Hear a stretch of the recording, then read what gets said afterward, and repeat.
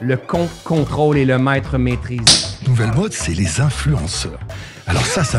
Comme putain, mais on n'est pas assez grand pour penser par nous-mêmes Je vais dire des trucs simples, parce que vous êtes trop cons. Oh, ne nous dis pas tout Toute info à son contraire, personne ne veut que tu vois clair. T'es du complot ou du père. J'y peux rien, j'ai un problème, je suis taquin. J'aime faire chier les cons, c'est mon truc. Puis ces derniers temps, je suis tombé sur un filon, faut être honnête.